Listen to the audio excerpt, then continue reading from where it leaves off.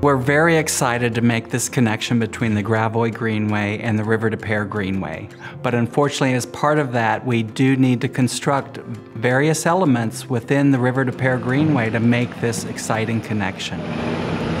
Obviously, the river can flood. The flooding sets the elevation of what the bridge can be set at. So that bottom rail of the bridge cannot be within the flood area. So working with City of St. Louis and understanding where the bottom of the bridge has to be above sets the elevation for the bridge crossing. Therefore, we have to have ramps on both approaches to the bridge in order to make it accessible for all. We have a lot of elevation change, so we needed a lot of room to make sure we got those ramps at the right slope so we could do that and meet the accessibility laws at the same time. And that involves uh, replacing a retaining wall between Germania Street and the current greenway, elevating the current greenway, avoiding multiple utilities in the area, including a 26-inch natural gas main, and installing all the piers and abutments for this new River des Peres crossing.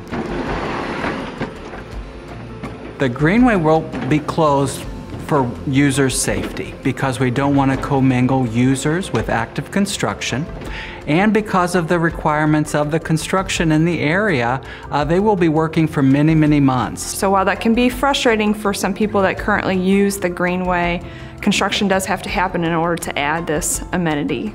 We should all look forward to a grand celebration and ribbon cutting in spring of 2020 when this connection between the River des Peres Greenway and the Gravois Greenway is complete.